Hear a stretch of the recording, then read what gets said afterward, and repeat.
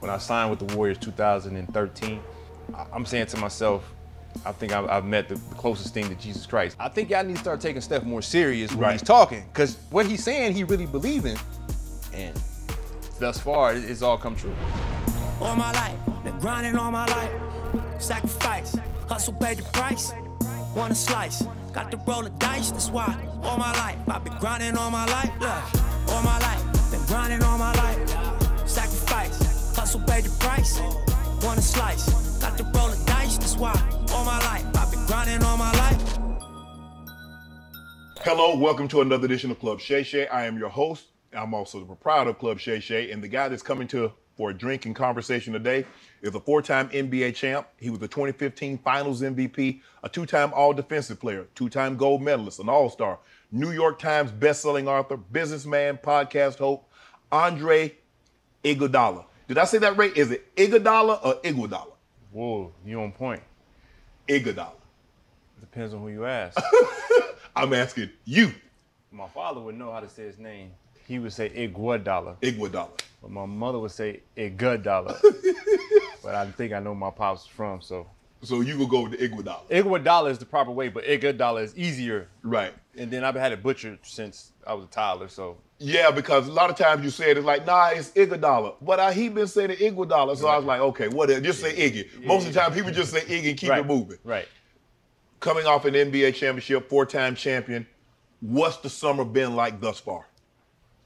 For me, the summer's always crazy in terms of just getting business done. Right. So like I hit the ground, we just running, we just running. So obviously, uh, spend When you say business, not basketball business, off-court business. off court business for sure. You know, uh, doing a lot of things I'm doing in tech. Probably around like 80 companies I've invested in now. Right. Uh, private sector companies. Um, you know, the market's got hit a little bit right now, so you don't see as many IPOs. Um, they're slowing down with that, but you know, prior to COVID hitting, had a few IPOs, a couple companies that uh, did well. Um, you know, recording a podcast with my man Evan Turner. Uh, that's been really good. We had some exciting guests this week. Right. Um, but it's just it's just pure work. And then I got some interesting things uh, business wise that I'm developing on the basketball side Right. as well. Um, some media, other media stuff as well. So we just cooking in the kitchen. you play a long season. Obviously, you played longer than anybody else when you were in the Celtics, but you won the championship. How soon do you start back ramping it back up to get ready for another season? That's a good. That's funny because I had a great conversation with Chris Bosh after the first time he won it. So it was 2015, and uh, I was at a, a CEO, uh, CEO barbecue. Uh, ben Horowitz uh, half, Andreessen Horowitz, and uh, I saw Chris Bosh there, and I asked him the question, when I'm supposed to get back in the gym, and he had probably the best response. He said, as, as, "Wait as long as possible." And he's like, you know, that long season's crazy. Um, you went through it all. You got to enjoy it because they're gonna throw you right back in the gauntlet as soon as the season starts, and Right. you don't want to have to go through. You know, it's almost like hitting a rookie wall when you get when you just you overplay. Right. You know what I mean? You just get burnt out of the game, and, Right. and you feel like you're working as opposed to just enjoying your passion. So I always keep lifting weights and just keep my body tight. Right. And then I probably touch a ball August first. August 1st is July. Wow. So you were gone almost two months without touching a basketball. Yeah, I mean, but you know, I got you'll touch a ball just by accident. Right. Like if you run into a ball, you'll just like do your Dribble thing. do yeah. Yeah, yeah, you might but even you're not your in the dri- but you're not in the gym getting ready Right. for preparing for a season. Yeah, I'm not doing my two a days because I'll do like like a two weeks of two a days, like on my own. Right. Like I'll get in there where I weight lift weights, go through a hard workout, go home, take a nap, eat, get back up, and go into the gym at night and get up 500 makes. Right. And I'll do that for like two weeks. But you know, as you get as I'm getting older, you you, you working smarter. Like watching Yeah, Floyd. Like yeah, you that- watching that- Floyd. Yeah. You're like, I don't need to work for four hours. I can get the same work in an hour and a half, and I'm just tight with it. that was that was the hardest part for me is that I still try to do the same volume with the same intensity as I got older and my hamstrings and my quads they couldn't take it and I didn't understand that until I had the injuries in the offseason a little while and I was like you know what I got to train smarter not harder harder the volume Yep. my body just can't take that Yeah, same same thing. Thirty, I'm 38 now. Right. And you know, I'll I'll my son was 15. Right. I'm about you know, and then I'll be like, well, I'm sore, and and I just wore him out. But I'm like, whoa, it's feel different. right when you say when you like how much longer do you want to play or it has to be the right situation it's not a matter of length it's being in the right situation Oh, yeah, hundred percent. I think it's uh, everything has to align, even, off the court too. Right. Because when uh, if there ever becomes a time where I feel like, and, I mean, it could be now, it could be next year, it could be in two years. Or if I feel like basketball is taken away from my off the court uh, endeavors, then I say, all right, I got to step aside. So Right. We're getting closer and closer to that, Right. where I got a lot of good things going on off the court, and I'm really having to think about really weighing that option Right. where I, I'm, it's more valuable off the court, even if it's a, you know, the things I'm doing off the court are for 10 years down the road. Right. You know, people thinking this instant gratification, they think I've been investing and I got all these crazy investments, and I'm saying, no, this has been 10 years in the making. it. Yeah, you just got to build out, knowing that you know the private investments are really like five to 10 years out. Obviously, the Warriors is a great situation, if it, and you're a free agent. Is that something you're amenable to? Because you spoke about there's nothing like the Warriors with how they treat their players, the way you do business there. What makes the Warriors and how they do business so much different? Because you've been in Philly, you've been in Miami, you've been in uh, uh, Memphis, you've been in Denver. So it's not like you've been with one or two teams. You've been with four or five teams, so you know the, the the practice schedule, you know the training, you know everything. So what makes Golden State situation so unique? I think it's just a combination of what I've been able to do off the court as well as the accomplishments we had off on the court. You mm-hmm. know, it's a little bit of both, on and off. So just building that relationship with Steve. Steve let me maneuver how I know how to maneuver, and he knows that I'm locked in. So if I'm playing basketball, that's my passion. So Right. I'm there early. You know, I'm getting my reps up. I'm leaving late, so I'm I'm, I'm locked in. Right. But at the same time, the things that I'm doing off the court, you don't have access like that anywhere else. Now you're starting to see little tech hubs pop up everywhere. You know, um, the things that Michael Rubin's doing are, are amazing in the Philadelphia Yeah. area, so guys can get into that. You, always got New York. Here in LA, you got a lot of folks from uh, Silicon Valley, especially in the media space. Mm-hmm. They come down here to LA, so it's starting to get spread out more. But in terms of you know the top talent, meeting Yeah, the CEOs, direct access. direct access is right there in the Bay. And um, like I said before, you know, what I, I took, I did a, I had a job with Comcast Ventures, like where I was actually going to the office. This was during my time where I didn't go to Memphis, where Right. I was a full time employee for for uh, Comcast, Right. and I was with their uh, t- uh, their, their tech uh, investment firm, and was able to uh, get a lot of knowledge there, get my feet wet. Now I'm off and start my own firm, and that's up and running. So. You know, just a lot of things going on in the right place. Yeah, let's talk about that Memphis situation. Well, well, well, really, because there were some guys that was was taking some shots from a distance. Even though you were kind of quiet about the situation, I thought you being a veteran player say, you know what? I see they got something special here. They got a lot of, you got Ja, they got some young talent. Let me mentor these guys. Let me let me see what I, if I can help do for them what Steph. I, I was able to bring a little bit to Steph and Clay and Draymond. What was your thought process in Memphis? So this was this the the issue I had. You know, I was really upset about how it all played out, because as you know, if you get traded to the team, what happens? Pack up your bags, you go to work. Right. Right. They call you, say, "Hey, we're excited to have you. You know, we, we can't wait to have you. In, you know, in our city. Start looking for a place. We got a, a realtor. Here's a basketball player development, or you know, people that help you off the court with Right. you know finding the right way to navigate the city. Okay. That's normally how it works.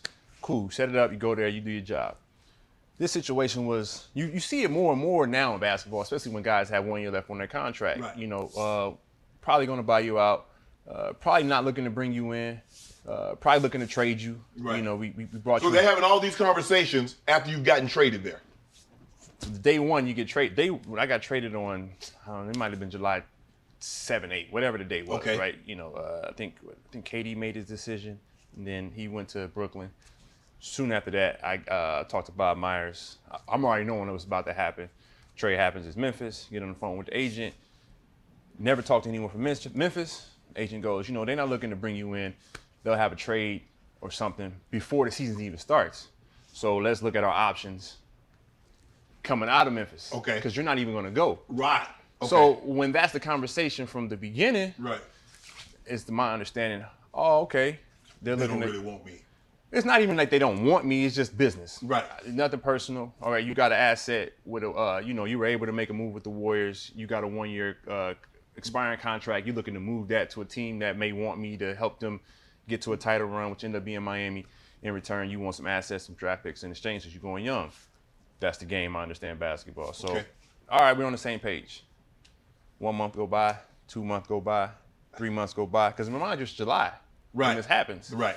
And what we doing? You know, am, am, am I getting ready for the season? I just made another finals run. Right. We just went to the finals four years in a row, right? Right. Yeah, 15, 16, 17, 18, 19. We went Five five, years years in a row. So all right, I got to start, you know, figuring out how I want to start getting ready for the season because I need to get ready for that particular team. Right. What's going on? And now the sentiment's changed. You know how it goes. Team wants to leverage a guy who multiple teams want. They want to leverage this team with this team. It was talk I might come to LA. Could be the Clippers, could be the Lakers. So Memphis is smart. All right, we're gonna leverage Iguodala. Who can we get more from? Memphis or, or LA Lakers or LA Clippers? Who can we get more from? We just gonna leverage them off each other. Right. And need the team bit because they knew what was going on. Right. So trade doesn't happen. So now they're like, all right, maybe we want you to come in. But that's not where your mind is. Yeah, but we, we we already discussed what, What we gonna, what what was the, gonna day- happen. the day you traded for me. You told me I wasn't gonna come. right. So what are we doing now? I mean, what changes? Me as a player never changed. Right. So obviously you're just not getting what you want. So Right. you want me to come in. So you me- felt some type of way because they told you one thing and you're expecting it for to be that, and now all of a sudden they uh, reverse course and said, "Nah." All of a sudden, yeah, we do want you to come in. well, they want, now they want you to come in so you can showcase, so they can. You're really showcasing for them to get more. But, but so add, add some value. So I just I just been around basketball for too long. I know how things work. right. All right, man. Y'all want to do business, so I'm gonna do business as well. So now you start hearing other teams in the trade. You might hear Milwaukee, you might hear Portland, you might hear this team, and now I'm like, wait, wait, wait, wait, wait, wait. I, I do have some tr- control of my destination, regardless of if that is frowned upon or not. Right. Because we've been hearing that lately. We don't like when players request trades. Yeah. But I think there should be some accountability with teams in terms of, all right, we, we traded for you to trade you out, and then you want to change course. Now the player should have some type of say so in terms of where they want to go. And in, in, in corporate America, that's usually the case. You can pretty much determine where you want to go. If Right. your employer says We don't want you here. Anymore. you can go somewhere else. Right. So I just started taking matters in my own hands. All right, you want to trade me to this team? All right, I'm gonna reach out to that team. Listen, uh, I got a couple months left on my contract. If you trade for me, I can just retire.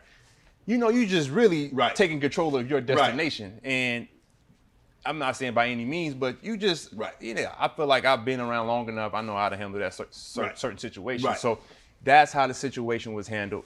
And I told him, hey, get the, you said you had the trade done by August, September. We late September. Now you want me to come in. All right, I'll just sit at home. Because ultimately, the CBA says you can find a player for not showing up. Right. So if it was really a mis- if it was really an issue, I would have just missed every paycheck Right. not going to Memphis. Right. Now, when you break all that down, if they really wanted me, they would have just fined me for not showing up. Right. So it was a mutual agreement. You know, you don't have to come to Right. Training camp. And But we'll have- maybe the but maybe the players in Memphis didn't understand what the front office had going on with you. 100%. That's why you've never heard me say anything negative about any of the, the players. If Right. you've heard me say anything about those guys, I love those guys. I'm, I'm you know, vice president of a union. You know, I'm a player first type of guy Mm-hmm. Right. where I got y'all back. I'm trying to help y'all understand the business, Right. understand the game. So it's never been a personal, Right. you know, situation. And I think, uh, you know, you got front office who may feed certain guys information. That's where they getting their knowledge of the business from. So they might go into an interview and speak a certain type of tone towards me, not understanding the situation because of who they got it from. So Right. it's just like you only hear one side of a story. Okay. There was this meme going around where you were having a conversation with Andrew Wiggins. It was very similar to the situation I think maybe his first year or the second year. Uh, Draymond and KD, and he's doing this, he's doing this to KD, and KD like I understand. Very similar meme with you and Andrew Wiggins. What were you telling Wiggins, and what were you trying to get him to understand what he wasn't doing as opposed to what he needed to do? It was funny because he was doing the right thing. So what happened was he, you know, Wiggs showed that he's one of the top defenders in this league Right. in the playoffs. Yes. Period. Yes. You know, he had to guard Luka. Uh, you know, he spent a little bit of time on Ja. Um, and then he had to guard, guard Jayson Tatum. Yes. You know, top three young. These are the new faces of the league coming Right. up. Correct. So he had to guard, and he's still young. He's 27 years old. So um, I remember one of our first games versus the Lakers early in the season. We played LeBron. Wiggs pulled me to the side and he said, "You know, what's some tips on guarding LeBron?" I said, "Oh shit, he listen. This is the type of player I like. Right. A guy that asks me questions, that means he listening. Right. And from there, me and Wiggs just built this great rapport. Like that's my guy, and I Mm-hmm. always knew he was good, just may not have been in the right situation. So we in the finals, and whoever he's guarding, he's giving them problems. So obviously, both teams scout. Boston is setting picks on him constantly. They trying to get him off Tatum. Right. First thing we're gonna do is we're gonna run sets and we just gonna hit Wiggins. We just trying to get a switch. We just need to get Wiggins off of Tatum. Right. And the first couple games, he was getting through the screens. And then that particular game, that was game three. We lost game three. He was accepting the switch. Right. And I'm telling Wiggs, don't get hit by no more picks. You know, and it, it it's two sided because Wiggs has four teammates on the court too that should be helping him not get hit. Right. And you know the communication may not have been there like it should have been. Right. And I'm telling Wiggs, all right, we not we not. Uh-uh, it's not a two way communication. It's one way. It's you and it's only you. Somebody said a pick, run through them or go around them. Don't accept switching. And it's a compliment to how good of a defensive player you are.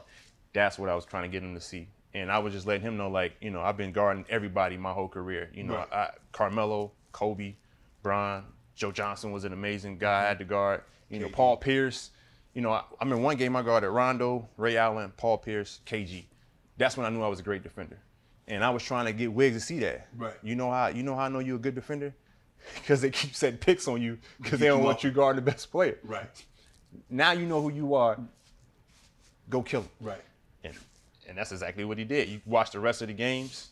He, you didn't see him switch too much on Right. picks or accept the switch, and he did what he had to do. Do you think before he got to Golden State he lacked confidence? I think it's, it's I mean, you think about it, he was the number one pick in the draft, Mm-hmm. and he never played a game for the team that selected him number one overall. And then he gets shipped to Minnesota, Mm-hmm. and then Minnesota trades him for D'Angelo, uh, I think D'Angelo Russell. Right, right, right, And right. so you know he's like, well, damn, I'm the number one pick in the draft, and I done got moved twice in like three years, four years. I don't think he lost confidence. I just don't think he was in a situation that warranted confidence. Okay. When you're in certain organizations and the goal may not be to win a championship, the goal may be let's try to win more games than we lose, Right, and let's try to make it look good. right, It's really hard to play the right way. It's really hard to play team basketball. It's really hard to sacrifice because really all you're doing is trying to show face like I got my 20 points tonight, I got 25 tonight, I did my job. Right. And that happens all across sports on, you know, the bottom half of the teams. Guys is just trying to get their numbers to say it wasn't my fault. Right. So it's just you just get caught up in bad habits of of, of you know, a bad organization. Right. Not to call them a bad organization, it's just not winning ways. Right. And and you get you just continually get criticized in terms of how you're playing the game. Right. And then he gets to a situation where, oh, I'm playing to win. So I don't have to get 25. He averaged 18 this year, but Right. it was a great 18. Shot the highest percentage he had from the Right. three point from the three point Starting line. All-Star game. Started the All Star game. He, was amazing for us. And then he was our second best player in the playoffs. playoffs. Period. correct. Like he was our second best Yes. player, and that says a lot. From you know, we got Steph, we got Draymond, we got Clay. Those guys have been running the league for the last eight years. Right. You know what I mean? So for him to come in and do that, the talent was always there. He's just never been in a position to really play with real confidence and play real basketball. why do you they're totally different players and i don't want people to misconstrue this where i'm saying that andrew wiggins is better than kevin durant i'm not Mm-hmm. saying but why do you think he was such an adequate replacement for kevin durant Yeah, yeah, I do think they're different. You know, um, and, and I think we have a it's a different type of team, especially with our young talent. Like with a guy like Jordan Poole. Yeah. we didn't have that explosive score off the bench bench. Because we had KD. Right. Like we didn't have an explo Like it was myself, Shaun Livingston, uh, Barbosa, and uh, Marreese Speights was there early. Right. But we had good depth off the bench, Right. but it was more like. Uh, players who did specific things where you just stood there and, sh- and spot up and shot the ball, or you play defense. You you were a Right. smart player. We Who didn't can have go get 30? Who can go? You saw it. Who go get 33, four, five games in a row. And with KD, we didn't- we didn't need none of that. Just Right. get KD the ball, move the ball, move out the way if we needed the bucket. Well, with Wiggs, I feel like it's a little different because of having Jordan Poole, having Clay come back, and you know, you know, Clay's gonna get his attempts. What do you say? I ain't sacrificing for nobody. but I thought Wiggs was just really good at being able to. Uh, what he did better than he's ever done in his career is rebound the ball the way he did. Right. You know, he just did the podcast with me and he said, I'll never average four rebounds for the rest of my career. He was attacking the glass, you know what I'm saying? You know, uh, he, he's finally started getting to the line, wasn't afraid of the line. So he was picking up on the intangibles. We didn't, Wiggs was always a guy who would just go get you 24 points a game. But he might have three rebounds, Right. might have one assist. So it was it was empty stats because he was in a bad situation Right. in terms of winning. But he came into a winning situation and he started doing all the little intangible things and it just meshed so well with our team because of what else we had around him. you caught a lot of criticism steph wins his fourth ring he's finals mvp finally he's a two-time mvp he's regarded as the greatest shooter ever and you said Mm-hmm. After winning this fourth ring and winning the finals mvp that he solidifies himself as the greatest point guard Mm-hmm. and you said that stone faced as if Magic Johnson didn't exist, is not still here. You know what happened? I went and watched uh, Winning Time on HBO Yeah. Max, and I watched It's Magic on Apple TV. Yeah.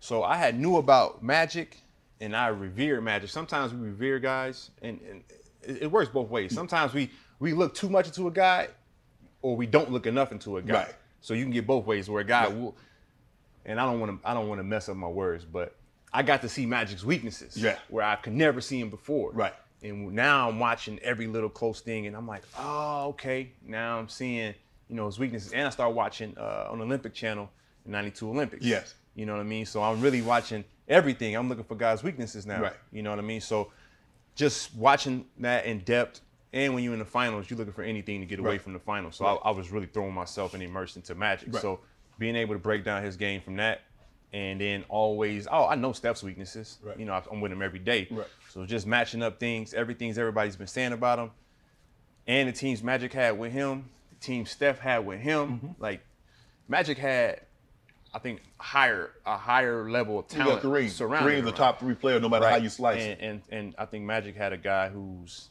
never.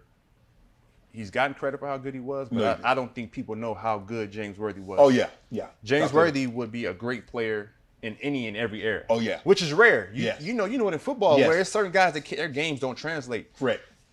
Magic had a few, guys whose games would translate. Right. You know, I think Cooper's game would translate, especially three and D Three now. and D, yes. You know what I'm saying? Absolutely, You know, yeah. uh, about uh, B. Scott. B. Scott. B. Scott game would, uh, would translate because he was kind of a three D guy as well. You know what I'm saying? Vlade Divac was nice. Mm-hmm. Yeah. And this was early with him Well, too. he was a he was a big pass. He was a passing big man. Right, which would be great right now. He'd be a poor man's Jokic, they would say. Yeah. You know what I mean? So Magic had really great talent around him. Yes. And then, you know, it's funny when they talk about Steph, they really like breaking down the weaknesses of the guys around Right. him. You know, they always want to talk about what Draymond can't do. Right. Mm-hmm. they- and they, they always forget about what he can do. And then Clay, they always try to call him one dimensional. He's always been a great two way player. Plus, he just had two two injuries. Yeah, yeah.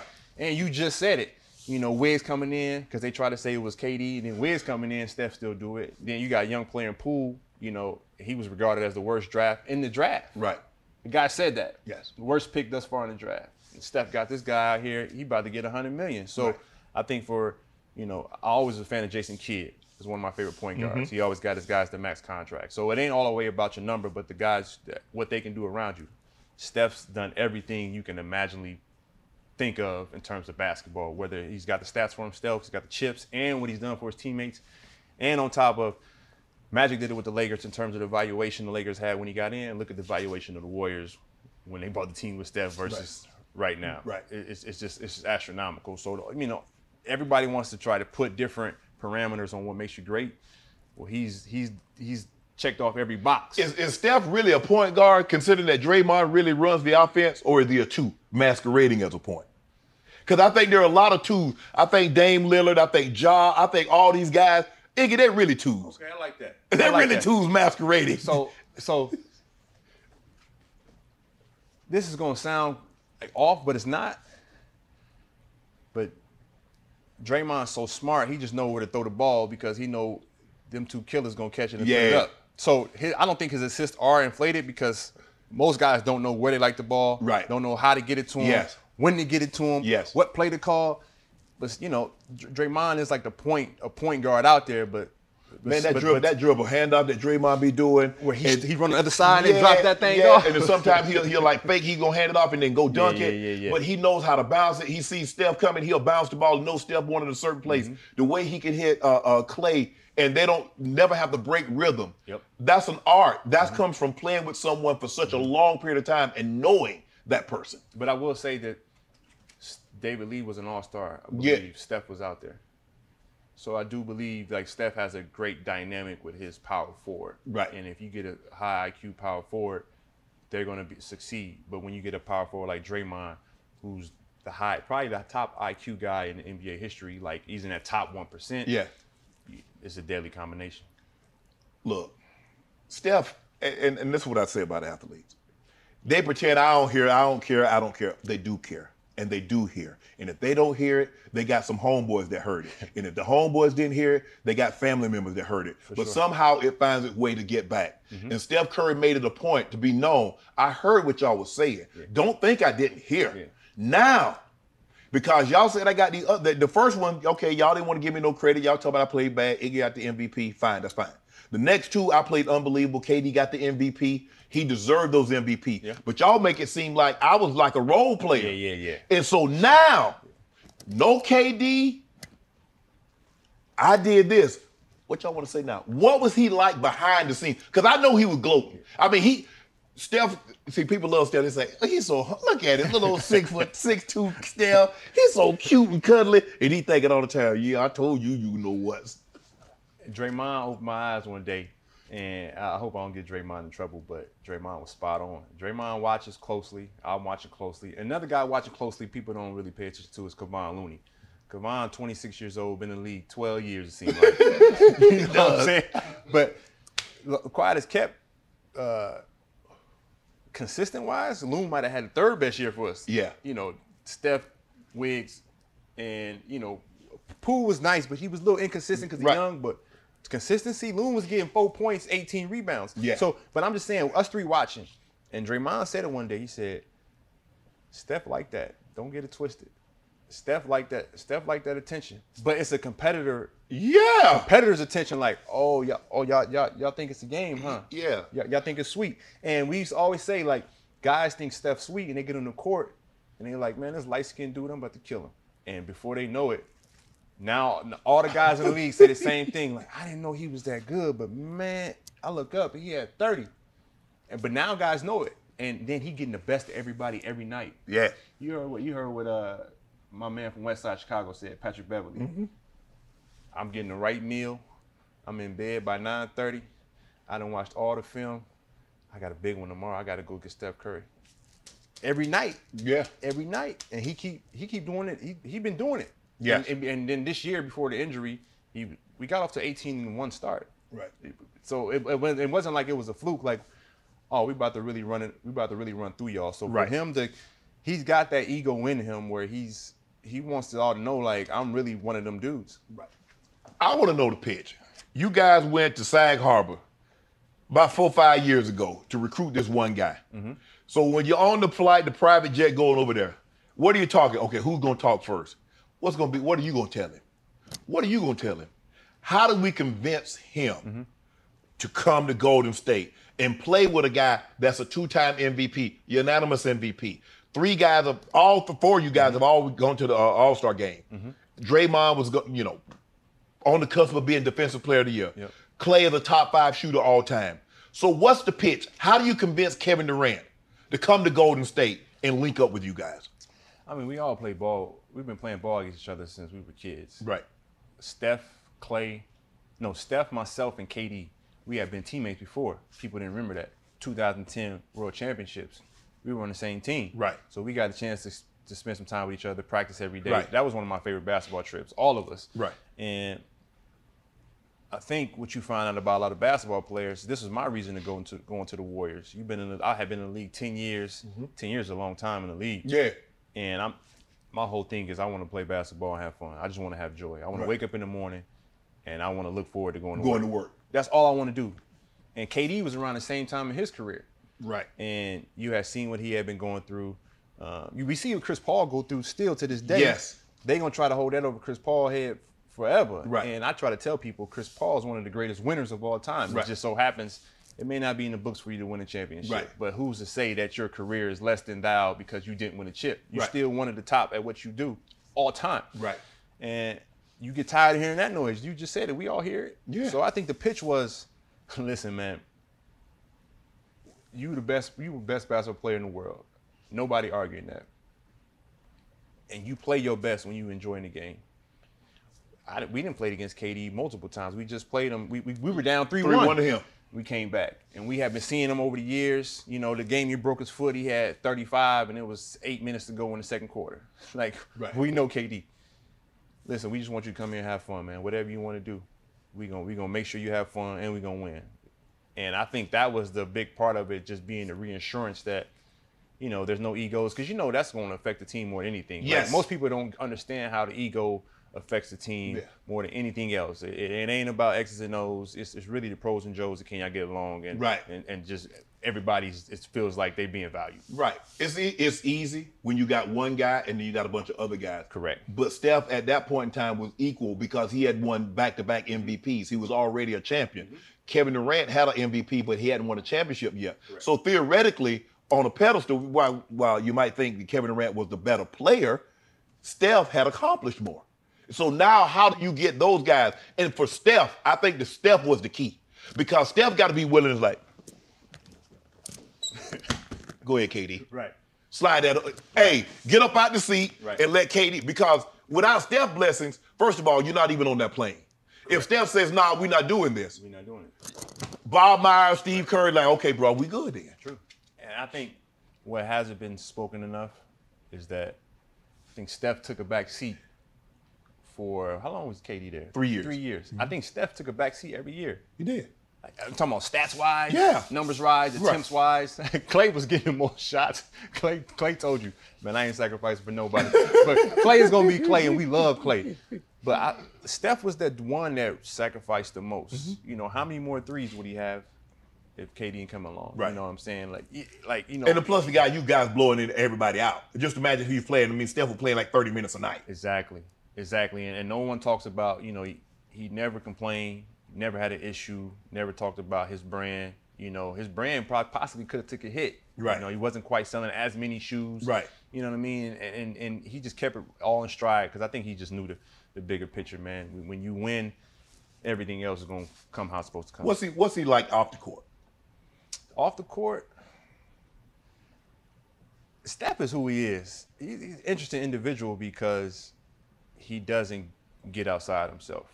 You know, no matter where he is, he, he you know he's comfortable in his own skin, and I think that's coming from that background that he had. Because he and Clay are similar, Right. In terms of nothing phases them. Like Right. they've seen it all. They've seen Right. the hoopla. They had the fathers that played in the NBA, Yeah, they- so they kind of know what to expect. yeah, so nothing really phases them. So they, they don't really have to go search for attention. You know, they don't have to really uh, look apart for anybody to really accept them. They say, uh, I, I've been through all this. I've been to a million NBA games before I played my first NBA game. Right. I just want to go out here and hoop. This is what I love doing. And uh, I think that is uh, one of the blessings that, you know, we don't see as much is that that balance that we have is because those two came from the NBA. And then you know, the other balance is that that crazy man on the other end with the fire. It's just an amazing balance, you know. Right. Like we can just cover every part, of, every aspect of, of, of the picture, and I think that's what makes for a great coach. you guys win the. T- Did you go and say, man, man, I want to win this so bad because there's so many people Mm-hmm. I want to say, shut the, you know what up. I mean, Clay got up there and says, man, them bums from Memphis, Draymond, Draymond was going crazy. Yeah. Steph was talking. Did you guys think about that before you won the title? Like, you know, I want to win. I, there- there's some people I want to tell some things. I think I think we it got there once we got to the finals. You know, once once I saw the way the uh, playoff picture was mapped out, I was like, whoa, we we got a real chance. We Right. just got to take care of business each round. We Right. we can't slip up. Right. Because I think with us, you know, if we lose the wrong game, that's it for us. Right. We that's our Achilles heel. We lose the wrong game, and then our confidence waver a little bit. We kind of wacky like that. Right. But I knew if we took care of business um, through each round, we'd be good. And then once we got to Dallas and we went up, what we went up 2-0. Yeah. And then we should have went up. I think we went up 3-0. Yeah, we went up 3 0. Yeah. So once once we got to the finals, I knew Boston was good, and I said we gotta win. If we don't win, it's over. We gotta win, and I need Wiggs to play at a high high level. And Wiggs and I had that conversation. I said, Wiggs, if you play at a high level, I don't even think I gotta play. Coach ain't gonna put me in. You play at a high level, we gonna win it. And You that's go down. exactly so, what so what, what are you thinking? You go down 0-1. You go down 2-1 with Game Four still in Boston. Right. So what's what's what's the mindset of Game Four? You're down 2-1. Yep. You don't want to go, even though you got Steph, a historically Mm-hmm. generational talent. You don't want to go down 3-1 because the likelihood it's happened before. You're on a team that got tracked down 3-1, but you know the odds are not in your favor. Running somebody down 3-1. We've been down 2-1 before. Our first championship, Cleveland had us 2-1. 2-1. People forget that. Right. Similar situation, we had home court advantage. So we lose game one. Game one was kind of funky. Because you had a lead and they came back. game one was funky. there was a few things that happened in game one, and I'm looking up at the scoreboard and I'm thinking, why the game so close? Something ain't right. Right. Or I'm watching the game and you know you watching too close. Now you start conspiracy theory. Like, listen, man, that that I don't know, man. That that's that killed our, that killed our run. You know, I don't want to say what killed the run, but that killed the run. That killed the run, and it wasn't really what Boston was doing. So I'm confident in that sense. Like, they we we gave the game away, Right. And they took it, and they they had to make some shots. They had to make some shots, and they shot what 75 percent from Yeah. 3 mm-hmm. late in that second half. It was crazy. So I saw that, and I'm like, all right, we good. Now we lose game three, but game three, I was confident. I said, all right, we figured them out. They won game three. They got home. They got that energy. The crowd was incredible. You know, Draymond was trying to figure his thing out. I'm like, Draymond to figure it out. I'm not worried about him. We play hard as we can game four. We'll win game four. Now we going back home. I just need Steph to give me a Michael Jordan finish. And what's crazy was Steph was really good, and they considered that his bad, his worst game. Right. But Steph was doing all the intangibles. Right. Wiggins played out of his mind in game. Wiggins five. played out his game, out his mind. Poole had some big plays Yeah. in Game Five. He didn't have 20 points, so people don't know the impact Mm-hmm. of a guy who might only have 11 points. Poole was a big key to Game Five. Then I said Steph gonna finish him off, and then Steph Steph got rid of them boys. You guys, I mean, but what is it about you and Memphis? Because Memphis knocked you guys out of the play in a couple of years ago. He knocked them out. Knocked them out. You weren't there. Yeah, yeah, Um, I was in the final. I went to the final. Oh, you was in Miami. But uh, well, so what is it? What is it? What is it about Memphis? Is it young and they don't know any better? They should leave their elders alone because Ja's talking, Dillon Brooks is talking. I mean, these guys and the fans have bought into it. Uh, uh, you know, they be playing whip that trick. Right. And Draymond had the towel. He was like, "Yeah, we gonna whip that trick." So yeah, we all about that. Uh, What is it about Memphis, the Grizzlies, and you guys that is it causes such an intense rivalry? I think we bring the best out of our opponents, and we've always had a we had a we've had a great competitive history with Memphis. When they had Z-Bo, when they had Gasol, they had Conley, Yeah. uh, they had Tony Allen. Right. They, they had us down two one as well. Right. And uh, it was second round, and I think that was 2015. So they've always played that grit and grind type basketball, and I think this this Memphis team now they're a well-oiled machine. Right. They got a good front office that knows how to pick talent. They got a good coach that puts everybody in a position to succeed. And it's like you said, you got your main guy, and it's not like they have others because they got a lot of talent, but everyone accepts their role. role. Love Jaren Jackson. Yeah. Love him. I even love Dillon. Yeah. Dillon's so crazy that he needs to be crazy to be in NBA. I always tell people sometimes, why is that guy so confident? If that guy wasn't that confident, he would not be in NBA. Right. He needs that confidence Right. to be who he is. Right. Now he might be feast or famine, but he, he- needs to be that confident and crazy to be in Right. the NBA. And they got some other guys on the team Dillon that Brooks, people, yeah. yeah, people don't give. Ziaire uh, Williams. Ziaire, young boy, he's gonna be great. And, Yeah. and Steven Adams is one of the Yeah. guys who, you know, he just he has that presence out there. And Kevon Looney was a big part of why we won that series. You know, we switched up the uh, the matchups a little bit. And Kevon, you know, he started having a 16, 18 rebounds. Yeah. I think he might have had a 20, 20 20. rebound, Yeah, yeah, yeah. it was it was crazy. So um, I think they're just a well-oiled machine. Um, I, I did say it in one of our uh, uh, scouting meetings that they too they they too young to even understand in what they're doing. Right. You know what I'm saying? Like once you start really understanding the pressure of I have to win, it changes. I don't think they understand the pressures of having to win, so they just play free and they Right. play with that confidence, and that's a scary team. Right. When I, you guys now, obviously Kevin Durant requested a trade, and you know Phoenix, the Miami Heat were the first two teams on his on his uh, on his list. Mm-hmm. But there are very few teams that have draft picks Yep. and the young talent Mm-hmm. that the Brooklyn Nets. The one team that has the talent, young talent, Yeah. that can satisfy the Nets and the draft picks Mm-hmm. is the Warriors. Do you think the Warriors should be willing to revisit the Kevin Durant and give up some? It's gonna probably it's gonna probably cost you Jordan Poole and Kuminga and Moody, maybe Wiseman and some draft picks.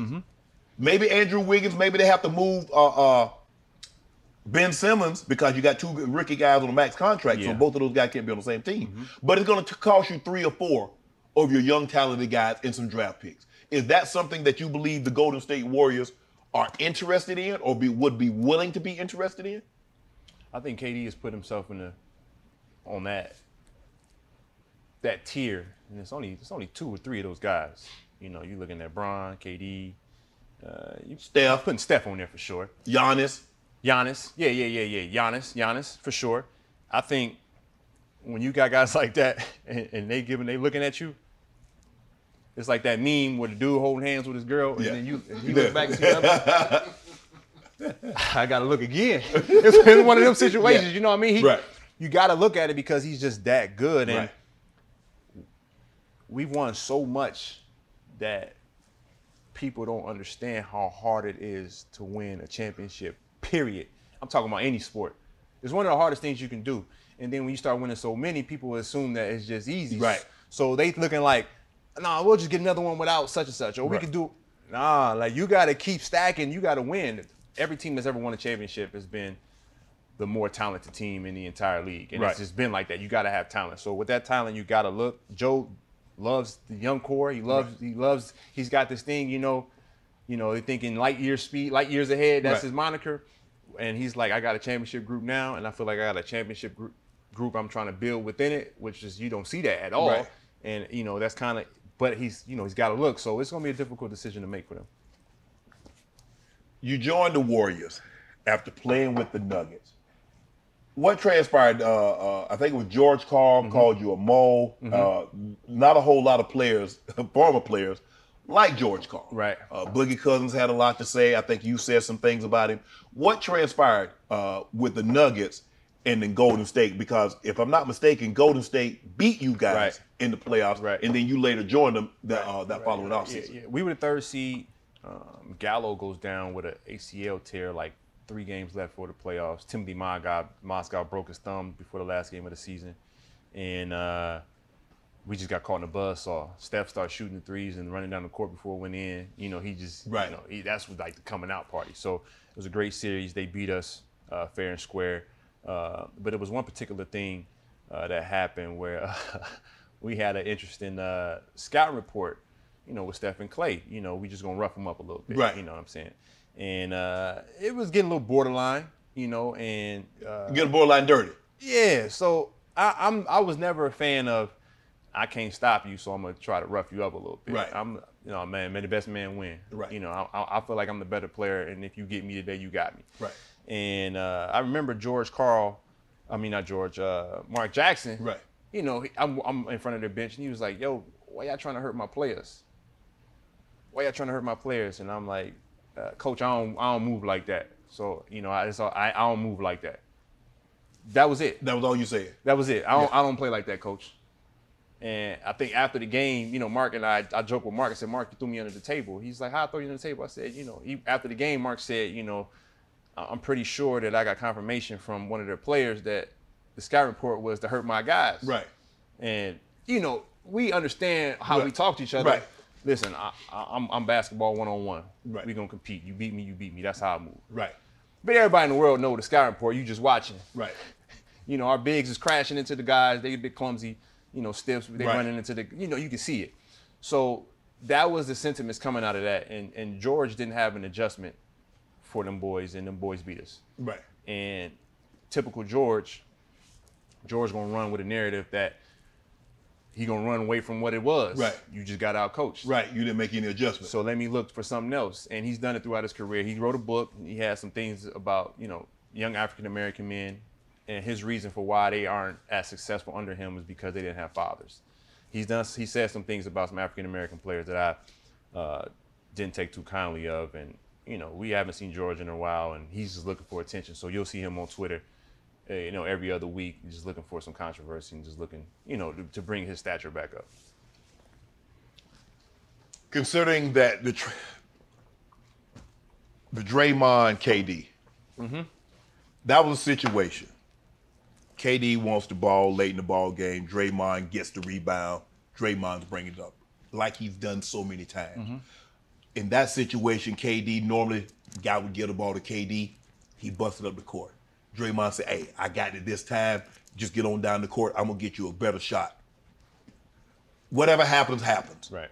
They go to the bench. Neither guy's willing to let that situation go. What are you thinking? Um, it- it's certain situations you gotta know your teammates, Right. and you know you got certain teammates who, in certain situations, you can't calm them down. You gotta let them just get it out. Right. And then you know, I've been in situations where I've had some tense interactions, you know, with my teammates or with Draymond, and I I may understand. All right, let him get it out, or no, now is the time for me to respond. Now is the time for me to you know come with this approach. So it's all timing and everything. So that was that was a wild situation because you don't see that that often. Right. So now you're just assessing like how should we move. because we had never Draymond. We've seen Draymond behave in this manner before. We had never seen Kevin Durant get upset publicly at a Right, teammate. right. So it's like, damn. I mean, and then what was what was why did it, why did he get to this? I'm okay. I understand that you wanted the ball. He didn't give you the ball, but it's not a big deal. No, no big deal. And for it to get and it, for it to escalate Mm-hmm. Right. like it did. Did anything change? Because everybody says it didn't change, but it felt like from the outside, it felt like a lot changed, Diggy. I don't think, you know, to be honest, I don't think too much changed because we still got back to the finals. Yeah. And then, you know, it took a KD Achilles for us to lose the finals. And KD's uh, no, And then Clay, and then Clay tore his uh, ACL. ACL. in game six. And, you know, you still. But were they still cool? Were they still playing cards? Were they still laughing and talking and going around? Because something had. to- I mean, you know, grown men. Now you know how we are now. You know how we we are. butt we butt head like Yeah. that. There, we hey, yeah. Yeah, but I think I think I've seen I've seen teammates actually knuckle Yeah, up of and- course. and- but they cool afterwards. Yeah. we handle like men, we squash it, we move forward. Right. And I think uh, we did everything we were supposed to do that year in terms of making sure that we kept that Yeah. thing tight knit, making sure like we didn't have But- too many leaks. But y'all suspended Draymond. It was almost like y'all suspended Draymond to show KD we got your back. We gonna suspend him uh, because we want you to resign. That's what it looked like from the outside. That's what it looked like to me. well, we just had a conversation. when you got when you got that top tier talent, what you gonna do? I mean, not only is it smart financially for the business, but it's smart to get wins. It's smart to try to keep like Yeah, you got to do. Hey, what I say. How you, how you win a championship? You gotta have the best talent. Yeah. Who the most talented guy? One of the most talented ever. yes. Ever. Yes. So, but at the same time, you know, I think there was faults all around. Right. It wasn't just one guy. You know. Did you have a team meeting? Did you guys discuss? Did you guys ever discuss that? Yeah, we had discussions internally because we all tight with each other. Right. Like, you know, we we we boys, we family, Right. we family. End of the day, Right. like that is bigger than basketball. Right. We family, Right. So let's just handle it like family. So you know, they handled their business, and then we kind of you know did what we had to do. Right. So you know, I think that's what was beautiful coming out of that is that we didn't really have no leaks. You know, uh, we had good days, we had bad days. We talked through it, and you know, everybody's tight to this day. But it was a lot coming from that. You know, uh, it, it was. It, I think it was tough for some guys too, when you don't, you still hear noise after you've accomplished things. Right. You know, we keep winning and we keep accomplishing things, but we just keep getting hit. We keep getting attacked. Right. Oh, it's, oh, we can't solidify that. Y'all messed up the league. This ain't fair. You know, you got other guys on other teams. You know, my best friend, Everett Turner, is like, yo, man, this is not cool, fam. This ain't fair. We don't have a chance. and so it's just giving, it's giving Skip an opportunity. Everybody just still. So it's just like, this is this is really beautiful for the game of basketball. Because Right. we still playing team basketball. We Right. still number one in the league in assists. We still top five in defense. We playing basketball the Right. right, way. So Right. it's not like we just cheating. We really executing at a very high level. Right. And we human nature, you you you, we hear it. You said it. You know, we hear it. We watch everything, and whether we like it or not, things affect us, and, and it can determine how we react to the noise. So one guy might react this way, another guy might not react that way, Right. and you know, one guy might be saying, you know, one foot in, one foot out because he's tired of another noise. Another guy might be saying, I see this guy on the way out. You know, not that that happened, but you just start assuming, and Right. what they say assume is you're making an ass out of you and me, Right. And then now you got fictional beef, and you don't know where it came from. It just slowly crept in, and that's one thing we were good at with keeping that noise out. And I think it just the, the noise kind of crept in and, and just threw us off a little bit. Do you believe Steph will be as accepting of KD a reunion with KD as he was in the beginning, considering that they just won a championship? Because Iggy, I'm gonna be honest with you. I do not believe had you not gotten KD, you could have ever beaten the Cavaliers again. After they walked you down 3-1, Kyrie was on a different level. LeBron was always on that level. I'm glad, I'm glad you said Kyrie was on another level. I keep going. I appreciate. No, no, Kyrie was on another level. Kyrie, Kyrie, Kyrie, Kyrie had a, a ride.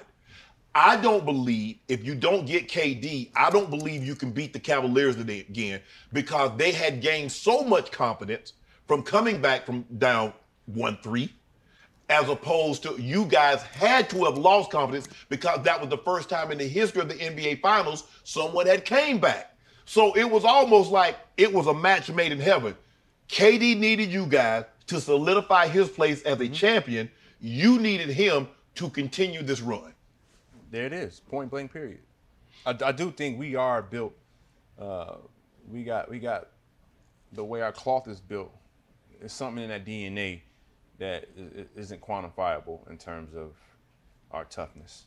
Because we've been down before. We've been down three one two. We just went down three one two. Yeah, the who I felt like who I felt like was the best team in the league. Yeah. I felt like OKC was the best team in the league. They had the most size. They had Serge was playing his best in his career. Steven Steven Adams, Adams. was doing his thing. Uh-huh.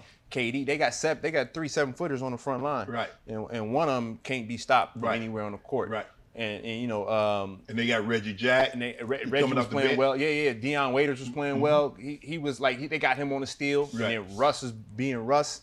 You know, then they had uh, I think Merle was on that team. They had some shooters. They had Yeah. Was one of the Yeah. top defenders in the league Right. too. He's six eight. Right. They were just built to win it, and we actually walked them down. So there's we got that DNA too, where we got that confidence. So I don't think our confidence wa- wavered. We just, you know, Cleveland came through with the buzzsaw situation happened with Draymond. Our top. If our Draymond top- plays game five, y'all win. The series is over. Probably. Because we have, don't forget, Bogut went down game, Bogut went down game five, I believe. Mm-hmm. He done for the year. Right. So, you know, and we still had opportunity in, in, in game seven. We, Right. we were one sub away. I talked to Steve after the game. I will never say it, but we were one sub away from winning the championship. Right. So I, we had that confidence. But, yeah, to have KD, I'm taking KD all day, every day. You, uh, yeah, I'm, I'm, I'm, I've had a lot of success playing with Kevin Durant. Right. 2010 World Championship was his coming out party, and then two NBA championships coming out of that. Yeah, it's, it's, and then I played with him in the Olympics 2012. Right. I'm pretty much undefeated with KD. So, but you, but you, you believe Steph is open to a reunion with Kevin Durant? I, I haven't had that conversation with Steph, um, quite honestly. You know, I, I think He's in a different place now. We've been we just been enjoying winning the league. I, I call this Money Heist. That show on uh, Netflix. Yeah. Where they everybody know everybody in the world know, man. It's just it's just eight people that just keep robbing us of everything. we see them coming. We know they about to come here and get it, and we can't stop. Right. That's how I summed up this year. We start off 18 and one, so y'all know we here. Y'all know this ain't no fluke. Right. And then we had a little slippage with some injuries. Then the playoffs start, and I'm like, and we looking like, oh, this sweet. We lock in. We gon' we gon' we gonna come get another one. Don't let us come get this one. Right. Because y'all know what's gonna happen if we come. Draymond gonna be Draymond. We come and get this one. Y'all don't like hearing Draymond. Yeah, yeah. Draymond said, "Y'all better not let." Me. But Steph, but when you guys got when when Steph and them got knocked out of the playoff at the play in Memphis, Mm-hmm. he said we had some injuries. He said, "But y'all better get us now because y'all not want to see us next year." Mm-hmm. He foretold of what was to come. Yes. And I think my first. It's funny because my first uh, when I signed with the Warriors 2013, and uh, you do the press conference, you say what you're supposed to say. PC, I'm coming here to try to win a championship. Right. Nobody take you serious. Right. But I'm saying to myself, I think I've, I've met the, the closest thing to Jesus Christ. Not to put that on him. Right. But I've never seen an individual like he, he he doesn't stray away from who he is in terms of who he is as a person. So you know what you're getting night in, night out, and I can see it. And so I'm thinking I'm about to go try to win a championship, and and and then we win a couple, and then he comes out and he says, "Y'all better get this now because we're coming back." I think y'all need to start taking Steph more serious when Right. he's talking, because y'all just so used to him being the baby face killer, this nice kid. Right. You know, uh, his, Right. his faith is very strong. Uh huh. Uh-huh. He that faith is strong. That means he got that faith is real. So Yeah. what, what he's saying, he really believing, and thus far, it's all come true. Before you play with him, did you realize how good Steph was? I mean, to to watch it from a distance, you're mm-hmm. like, damn, man, dude, making all these shots. And then you get up close to him and you watch him in practice and you see the things that he does before he even stepped foot on the court. Mm-hmm. Did you realize Steph was this good? Like generational, like transcendent good. Yeah. So when I saw him when he was younger, I saw a deficiency. So I'm the type of basketball mind where I'm just looking for your flaws. Right. All right. What doesn't he do? And and can he get better at what he doesn't do well? Like can he can he get rid of those deficiencies? So early in Steph's career, he, Steph was thin. Right. And he would get beat up, and his Achilles heel was European guards like the Rubios, Yeah. uh, uh, uh, Navarro from Spain, who we played in the World Championships. Uh, Dragic Goran Dragic, so and they were like crafty and thin, and they a little chippy, so they you know they hit you below the belt a few times here and there, and it might throw you off. And his handle wasn't always this tight. Right. Steph's handle wasn't always tight. He get loose with the ball. He always been loose with the ball with his turnovers. Right. And if you just watch Steph's progression, he's continued to get better, and that's the part people don't see. You know, they don't see us in the you know, 5 a.m. working out, all the weights we pushing. You know, what's my man Harrison from the Steelers? Yeah. we seen him, but he had been doing that. you know, he just get strong. You're he, right. He been, Steph was the same way. He just he ain't just get like he had been working and building up. Right. And he's been progressing year in year out. Like this year, Loon and I will be on the bench saying, "All right, it's a tight game late in the fourth. We need Steph to be like MJ. We need them to start picking the game apart. You know, we don't need Steph to shoot a half court three or just pull up from three. We need to get to a midi. We just need a bucket." And he start getting to it. Right. He start getting in the paint, up and unders. You saw him flipping the ball like he was getting like And that was the thing because uh, early on is that let's run him off the three. Right. And but he wanted to settle. Now Steph going off. Steph got a got a layup package.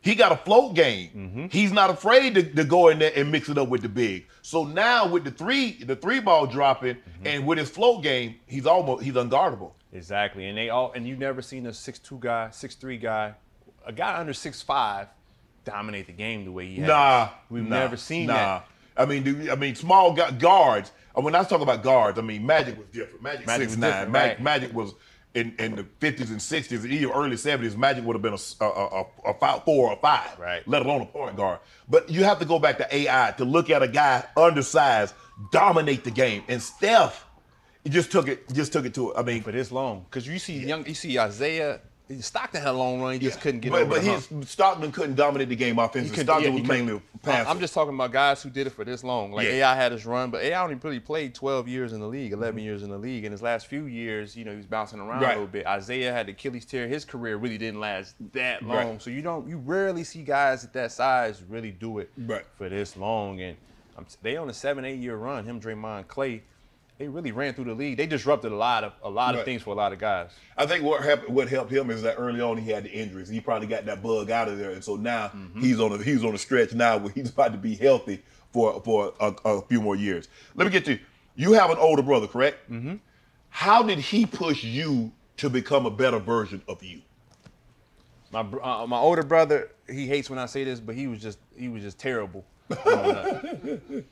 I mean, he would just punish me. So he was always bigger and stronger than me. How Ju- much older than you? He's only a year and nine months. Okay. But he was just that big brother that was just he was like a bully. Right.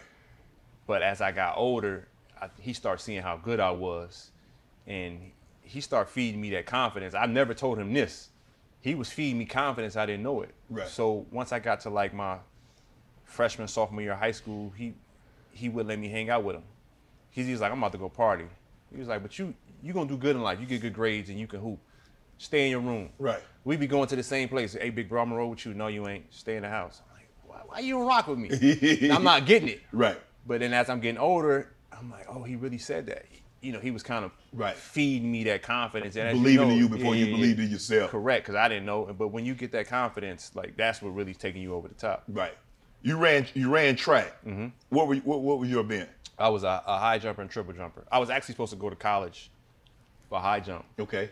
The basketball, I didn't play AAU but one year. Right. So I, basketball wasn't a guarantee until after my junior year. I played AAU and had a good summer. But Right. I think I was like top five in the country high jump my sophomore year. Right. So I was looking at that route too. Triple jump. That was my event. How far you triple jump? Triple jump, I was like 47. I would have got to 50. I didn't do it my senior year. I would have got to 50 feet, but I was like 47, 48 feet Okay. My uh, my junior year. Okay, I, I, I, that, that's pretty good. Small Springfield, Illinois. What's going on? What's Springfield like? Springfield Springfield gets mad at me. Isn't that isn't, that uh, uh, Lincoln's hometown? Lay, lay, from there. It's funny. I was just watching Fresh Prince of Bel Air, and uh, Uncle Uncle uh, what's it, Uncle Jeffrey? Yeah. Uh, the Butler Jeffrey. No, Butler Jeffrey. It's Uncle, Uncle Phil. Phil. Uncle Phil. Yeah. So I'm watching. Uh, I'm watching um, Fresh Prince last week. I'm starting from the beginning with my wife and uh, Uncle Phil. Parents come into town, and uh, he's talking about how he's, he he marched with the Panthers. You know, he listened to Martin Luther King. I have a dream speech. Like he been around the way. He from, he from uh, I think he said he's from Baltimore, D.C. But come to find out, Will finds out he's from this little small town, North Carolina, Humbucking or something like that. But he never wanted to identify that he was from there because it was a small town. No one really made it out. Everyone got stuck there, and his parents were a little upset with him. And you know, I have an interesting relationship with Springfield, where you know I did read that majority NBA players come from a town like Springfield, 100, 150,000 people, a small community. You know, um, you get a basketball community, and like high school was big. High school basketball was huge, so I had idols there. But coming from Springfield, uh, most people get stuck, especially the African Americans. You know, we got a lot of great talent, but guys don't get the grades, and Right. you see a lot of good athletes. Uh, they they get to college for a semester. They end up right back home after the first semester because they couldn't cut it academically.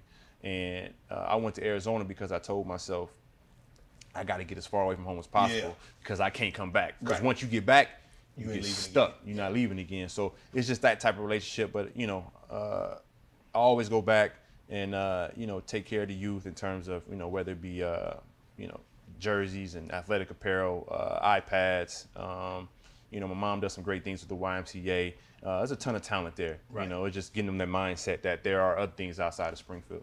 if I were all you guys went to the University of Arizona, Steve Kerr, Gilbert Arenas, Richard Jefferson, Mike Bibby, Jason Terry, Aaron Gordon, yourself, Channing Frye, Luke Walton. If all you guys play on the same team at the same time, how far are you going in March Madness? First of all, uh, first of all, Gilbert Arenas is the best player to come out of Arizona. Is it? Clear cut, not even close. What? I'm, I'm a big, I'm a, big- I'm big on Gilbert. Gilbert had everything. Hibachi? Hibachi put 60 on the Lakers in a pair of Dolce and Gabbana. Y'all remember that one? I do. I do. of- he, we went to Dolce and Gabbana and said, "Give me some shoes that is a high top," and he strapped them on, and that's never been. They made him take them off. He was scuffing up the court.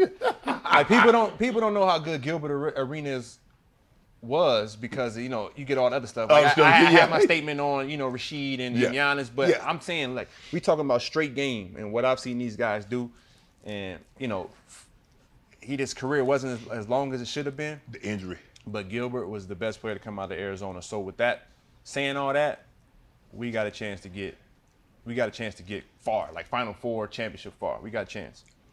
You're in the 2004 NBA draft. If they were to do an NBA, you were selected ninth overall by the Sixers. If they were to do that draft over again, Mm-hmm. where's Iggy getting drafted?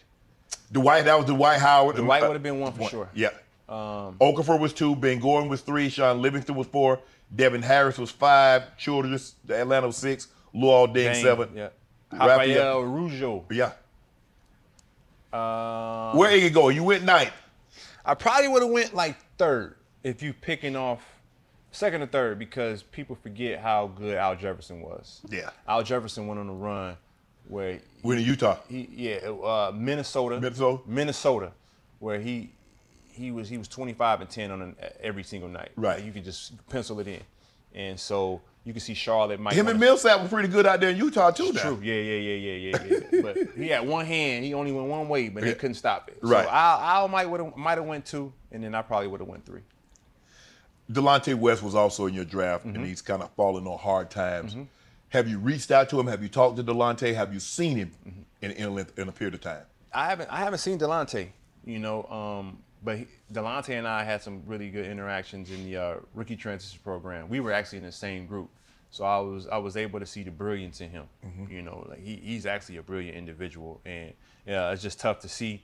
You know, um, it's really tough to see. It's really tough to speak about because you know it's just two sides. Like we can help him a little bit more, Right. but at the same time, he help himself. He got to help himself. So you know, I know Mark Cuban did a beautiful gesture, Yeah. try to help him out a little bit, and you know he's going to keep guys trying to help him. But you know, we got to we got to meet in the middle, Right. And, and hopefully we can. AI, what was it like playing with Allen Iverson? Because you were supposed to be the you were supposed to be AI 2 Mm-hmm. because they had an AI, original AI, and then you come in. What was playing? What was playing with AI like? Uh, he he was like my big brother on the confidence thing. You know, I, I never forget. I'll be in the games and I'm a rookie, and I wasn't expecting to start out the gate. Right. I wasn't expecting to play that much out the gate. You know, I earned my minutes and I'm playing a lot, but now I'm playing against the guys I looked up to. Right. You know, I think your high school years, you're looking at a lot of college players, and those guys end up being in the league. Rip Hamilton was one of my favorite players. You Right. Know, Rasheed Wallace was one of my favorite players. You know, I love the Carolina guys. Vince Carter Right. was one of my favorite players. You know, uh, Antawn Jamison. So I would see these guys, and uh, I remember my Rip Hamilton experience. I was just looking at Rip Hamilton. I'm like, man, he good. Like, like he's an all star. Right. And he hadn't been an all star yet. And and AI was just he looked at me and he kind of punched me in the chest and said, "You better than him. What's what's wrong with you?" And and that's, That's when it clicked, right? All right, I got you. Right. I got you. And he slowly but surely just kind of start helping me with the smaller things, how to deal with the media, you know, not you know enjoy enjoy life because they're gonna turn on you at some point, which eventually it happened. Right. But he was just preparing me for all those things that I couldn't see coming. So when it happened, I can reflect and say, all right, he did his job in, in, in terms of you know helping me grow with the game and, and things that I would have to deal with that most people don't really want to talk about or, or, bring up. Besides practice, is there any similarities between AI and Steph? Um, or lack of practice with one and practice with the other? I think they're really true to who they are. Like that's the big sim- that's a big similarity between them two. They're like opposite ends of the spectrum, Right. But they're very comfortable with, who who, they they are, and they don't want. to And they say, "I'm not changing for any anybody." Steph would say, "I'm not. I'm not changing to be more famous. I'm not changing to, you know, sell myself out, or I'm not changing my faith to, you know, endorse this or that." Like he stays true to who he is. AI was the same exact way. You know, I'm from where I'm from. These are the boys that grew up with me and they got through the mud with me. These are my guys. They coming with me. Right. You know, why leave them behind in the mud? I'm bringing them with me. They gonna see the finer things in life. I'm not Right. changing who I am or where I came from just because I say so. So, I, I would say that's that's the similarities of the two. If Steph ruined the game? Because everybody shooting threes now, Everybody can't shoot like Steph. And they turn it, oh, it's a three-point game. The analytics says if you make this many threes, it's the equivalent of that many twos. But you got guys that shouldn't be shooting threes, shooting threes, Iggy. I don't think it's guys. I think all of them shouldn't be shooting. threes. and, uh, but did he ruin the game? I saw a little kid. Uh, he made a shot and he He on went to sleep on and the. down. He went to sleep on the court. It ain't. I mean, I, I see WNBA. I I see Skylar Diggins did it in WNBA. Congrats to her. Skylar having a great week. Yeah, she killing. But, but the kids, the kids going to sleep on the court Yeah, now. man. Iggy. Yeah, I'm, I'm taking my belt off. I'm whooping behind, man. I, I couldn't believe how. Now, now, that, that's I think our coaching has changed a Right. lot in every sport Right. over the last 15 years Yes. because the money's gotten so large. Right. Now we're trying to build professional athletes. Right. And we're not coaching them the right way. We're not holding them accountable. We're not being we not disciplining them the right way. I understood what Mark Jackson was saying when he ruined the game. Steph didn't ruin the game. Is that coaches believe everybody can shoot the ball like Steph. This guy has a God-given ability, and he's worked on the craft. he worked on it. just don't think you can just go in the gym and start launching threes like, oh yeah, but Steph do it. his his father was one of the best three point shooters Yes. of all time. So he been working on being a great three point shooter Yes. since he came out the womb. Correct. People not thinking about that. Hey, just go out there and shoot a whole bunch of threes and, and we go into the league. How was Mark Jackson the foundation of what the Warriors later became? Even though he didn't see them to the promised land, it was almost like, and you know, not to sound you know sacrilegious or anything, when Dr. King says, "I have a dream," and he didn't get to see a lot of the fruit Right. getting buried of what we have today, is that Mark Jackson, you, your, yourself, uh, Clay, Steph, Draymond, you guys were the foundation piece. But what were some of the things that that that he developed in you guys that later helped you guys become the four-time champions that you are?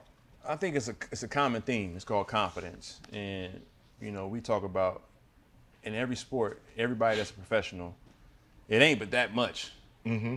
in terms of you know the top talent versus the bottom. Right. Now I do think our bottom is getting a little lower. We got to fix the bottom Right. in all our sports. We got to raise the bottom. Right. You raise the bottom, you got a great product. Right. And now you know we just getting guys creeping in the league that shouldn't be here, but that confidence thing that Mark put in them is, is something different. Because I know some coaches who, you know, you take a guy like Jonny Flynn who had injuries and, and he was he was drafted before Steph. Right. And he, he you know, had he been in a different situation, hey, he might still be here. Right. So I think, you know, Steph would have, was going to be who he was, but I think he got there um, with the help of Mark in terms of just feeding him that that confidence every single day. And I yeah, give- when I you give say I got the best, story. I got the best shooting backcourt in the history of the game.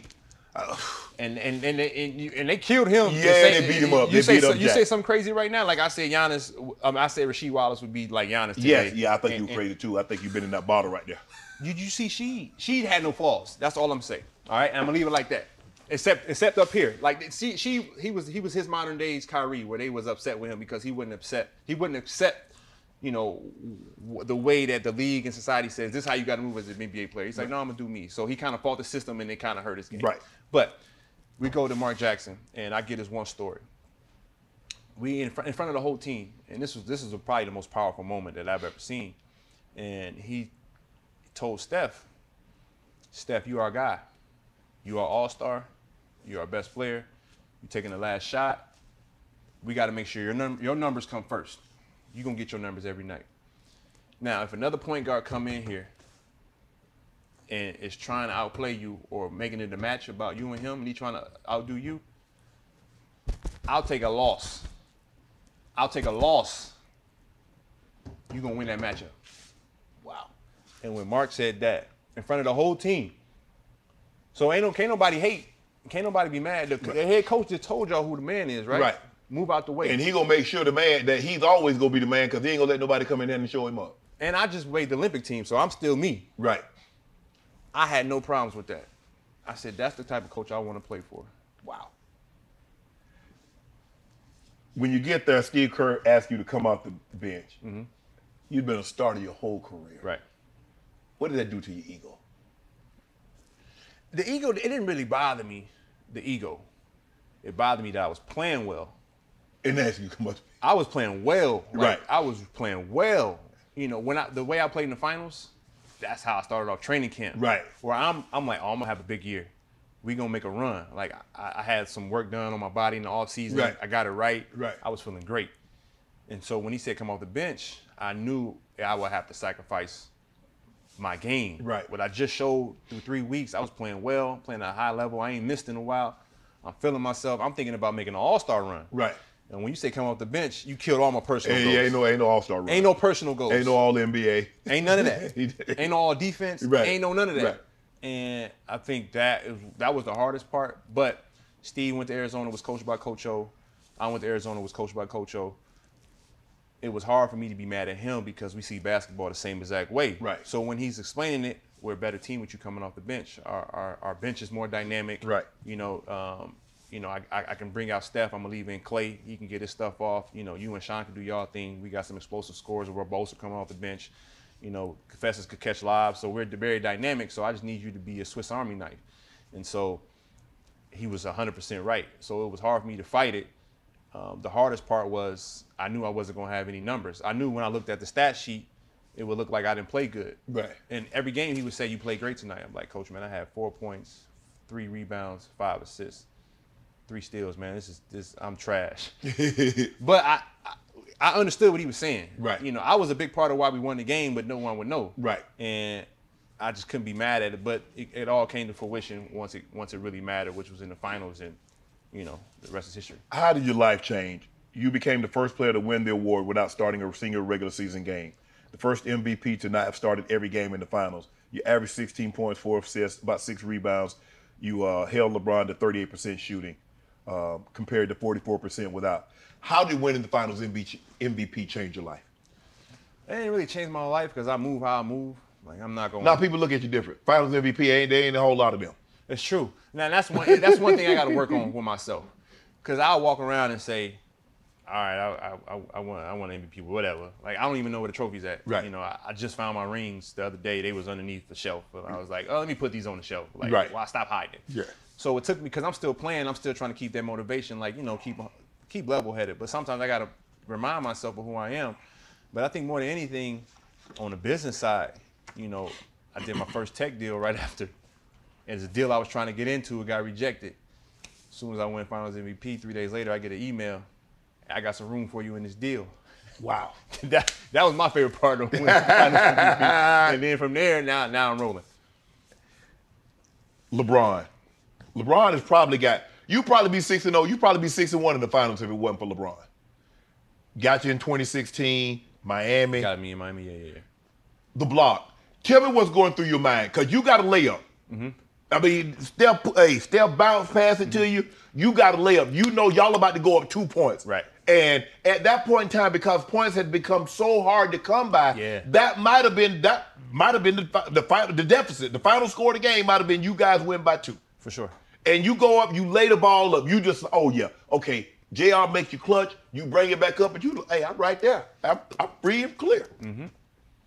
So when, when Steph, I threw, the, I got the rebound, pushed it. I probably should have kept going, but I hit Steph to do two on one. Right. Like we do practice drills every day, and then he bounces it back. I'm like dunk on his head. When I go up, he he do my strip to where he would have stripped it if I would have dunked it. Right. So I had to move it. Right. And now I'm like, man, what you just say, man? These and we ain't ain't nobody scoring. Right. Man, just put the ball, just lay it right there, and don't try to do nothing stupid. Just Right. lay it in. And uh, it was one of the loudest the loudest sounds I ever heard. Boom. And when it happened, I kind of I was like, damn. I was like, yo, that was the loudest. I'm like, what just happened? I I, I didn't even know he blocked it, but I heard boom, and I was like, man, that was cold. Like, I, I was really, it was like a fan moment. I was Right. like, man, that was beautiful. Yeah, I was just talking about George in terms of, you know, your your your, your opponent get the Right. best of you. When he blocked the shot, I'm like, God dang, that was amazing. Like I had that energy. Right. You know, and then for for everything that come out of it, you always got to hear about it. Right. Whenever there, whenever you have success, somebody gonna remind you of it. Did you know he was that close?